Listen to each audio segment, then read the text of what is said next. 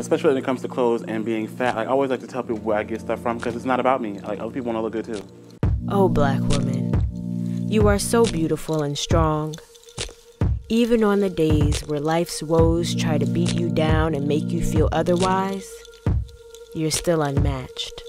Being a black woman, um, and like mapping desire around fat bodies, now like I have to interrogate like how all of those fit together, and then I have to like really sit there and ask myself sometimes like, do they want me because I'm a black woman, or do they want me because I'm fat? And it's just like it's like this whole work that I have to do to unlearn a lot of shit that I've learned over the over my life. Like I really just ask men like their politics on like fat bodies and like some of the things that they say and how they react to stuff as it pertains to me. And it's just like if my body changed, like if I was to lose the weight, like how would like like would you still be like sexually attracted to me like or, or am I just like a fetish for you?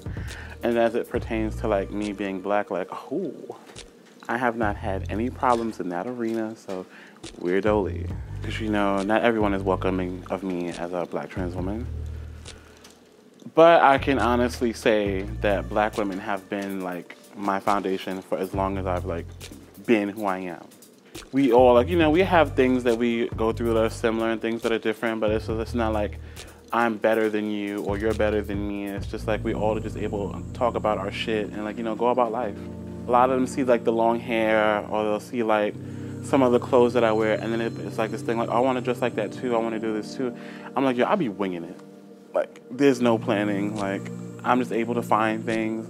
Take your time with your transition. It's just like, you don't have to be busty in like three months. Like, it's okay.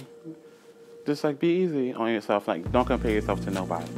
I think I have the, and I think I know that I can be like, you know, emotionally all over the place.